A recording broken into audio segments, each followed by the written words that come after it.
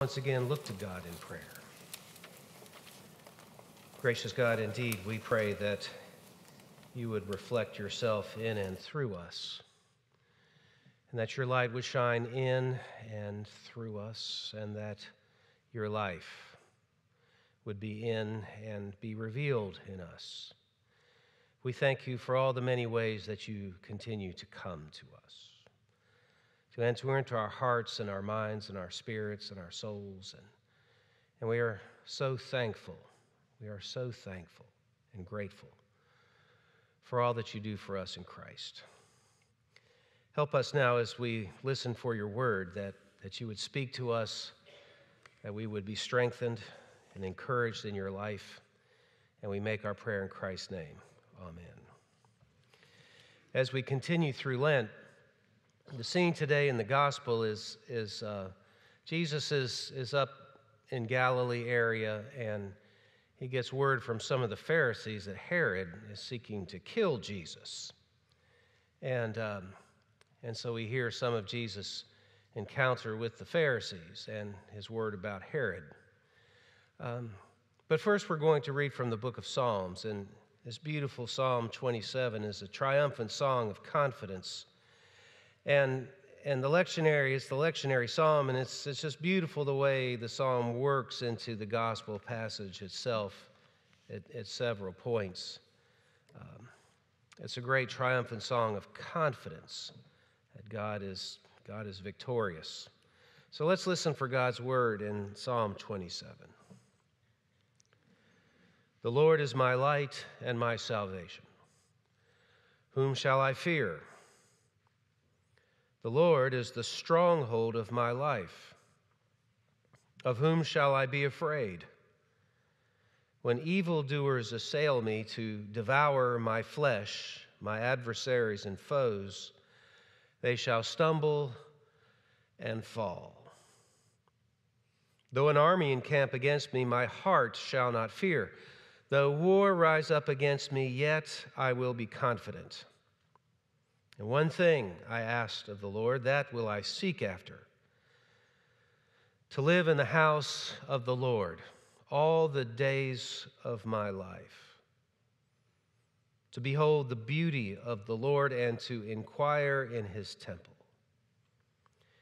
For he will hide me in his shelter in the day of trouble. He will conceal me under the cover of his tent. He will set me high on a rock. And now my head is lifted up above my enemies all around me, and I will offer in his tent sacrifices with shouts of joy. I will sing and make melody to the Lord. Hear, O Lord, when I cry aloud. Be gracious to me and answer me. Come, my heart says. Seek his face. Your face, Lord, do I seek. Do not hide your face from me. Do not turn your servant away in anger, you who have been my help. Do not cast me off. Do not forsake me, O God of my salvation. If my father and mother forsake me, the Lord will take me up. Teach me your way, O Lord, and lead me on a level path because of my enemies. And do not give me up to the will of my adversaries, for false witnesses have risen against me, and they are breathing out violence. I believe that I shall see the goodness of the Lord in the land of the living. Wait for the Lord. Be strong let your heart take courage. Wait for the Lord. And in Luke's gospel, in the 13th chapter, word comes to Jesus that Herod is seeking to kill him. At that very hour, some Pharisees came and said to him, Get away from here, for Herod wants to kill you. He said to them, Go and tell that fox for me. Listen, I'm casting out demons and performing cures today and tomorrow, and on the third day I finish my work.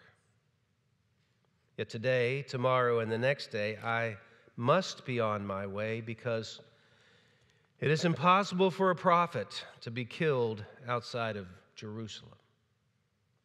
Jerusalem, Jerusalem, the city that kills the prophets and stones those who are sent to it.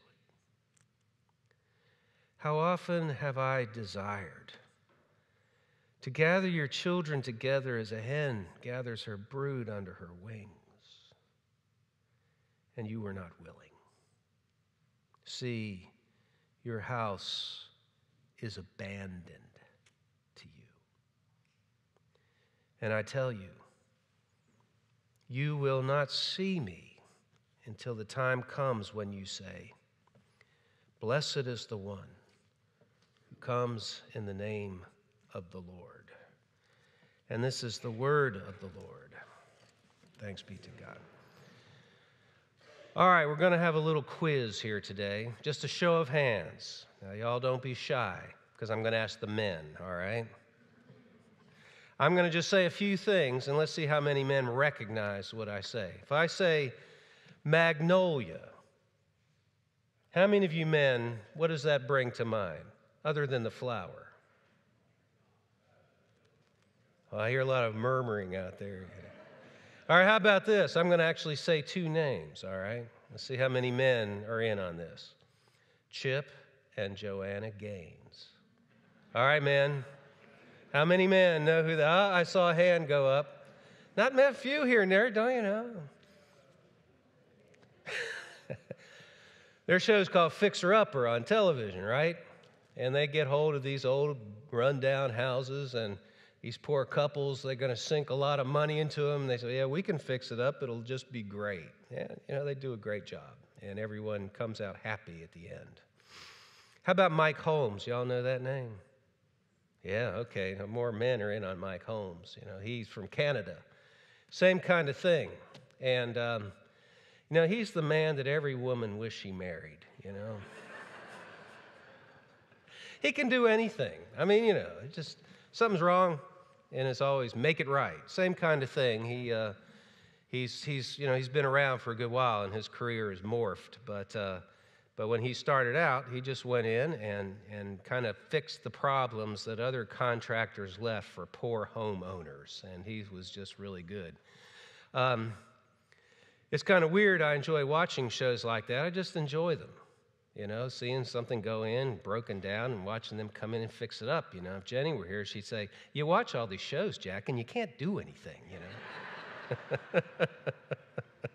I could maybe write poetry about it or something like that. But what good's poetry when your sink is not working, you know? Oh, golly. Um, homes that are abandoned, homes that are, are forsaken, homes that are threatened. There's people that, that work hard to uh, bring them back to life.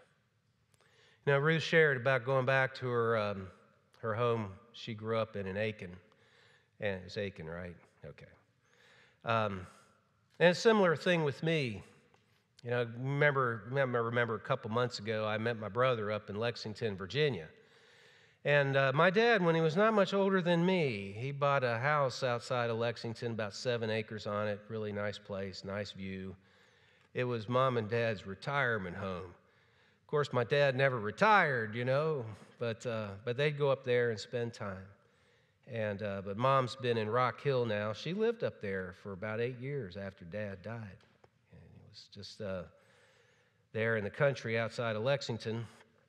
And um, my brother lives in Charlottesville, one of my brothers, so she split time. But um, she's thinking of selling the place or maybe renting it out. And, and so there's still a lot of stuff up there. and so my younger brother and I, we met up there a couple months ago and just started kind of working through some of the things.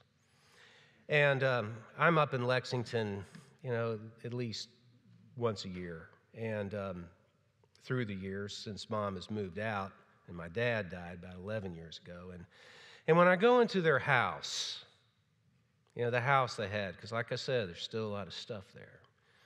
and just go in the door, and it may just be me, but the house just doesn't seem alive anymore. You know, it's, it's, it hasn't been lived in now for several years, and it's just so sad. It's just so sad. You know, it's just a house, beautiful home, but it's just not alive. There's just no life in it. And maybe in some ways, is it true that, that houses that are being lived in by people are sometimes frozen, no longer alive? Just persons becoming strangers, moving through shared space. Know, wouldn't we all like to see our houses moving from being abandoned or forsaken to becoming habitations that are filled with life? Now, perhaps houses become abandoned because someone inside ceased listening to the voice of Christ. A Christ less house is a house that becomes bereft of love, caring, understanding, purity, and commitment. And when we cease welcoming Jesus in, we invite the other forces to come in the forces of confusion and division and silence and broken promises. For isn't there truly a great difference between a house and a home? And Jesus makes all the difference. Jesus makes all the difference. It's an interesting word Jesus uses in this text when he's speaking to the, to the Pharisees. He says, Your house is abandoned to you. Your house is abandoned. And um, he uses the Greek word aphiemi. And interestingly enough, that, that word is used in various contexts. And, and one of the contexts that you primarily see that word in the New Testament is it also means forgiven. Isn't that interesting? A word that has such a negative con- connotation in one context, and another connotation has such a beautiful and powerful and joyful connotation. It goes from your house is forsaken to where earlier in the Gospel of Luke, he says to a woman, Your sins are forgiven. Same word. The difference between a life and a house and a family, a church, from moving from being forsaken to being forgiven is just on the breath of Jesus' lips. The breath of Jesus' lips changes something broken, forsaken, abandoned into something filled with joy and life, just like that.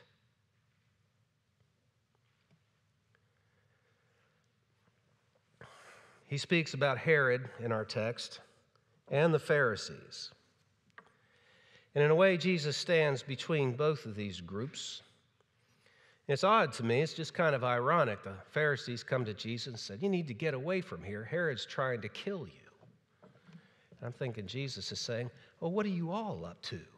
You know? Y'all are trying to do me in too. What? You want you don't you want to kill me before Herod does? Is that what you mean? The irony, as Conrad would say, is immense. Uh, they both are seeking to do Jesus in. Both mean him harm. Neither wants to hear what Jesus has to say, the Pharisees or Herod. Now, Herod is just an evil guy. You know, he's just evil. He's not willing to give up his sin. You remember John the Baptist preached to Herod and um, said, Herod, it's not lawful for you to have your brother's wife. You just can't have it. And Herod, conflicted man, as the Gospels unfold his story, and uh, In one gospel, it said Herod heard John gladly, was perplexed, but uh, he just couldn't take that next step to repent. And so, in his drunken birthday party, Herod makes an oath, and the cost of that is John the Baptist's head. Evil man, evil. And on the other side, you have the Pharisees.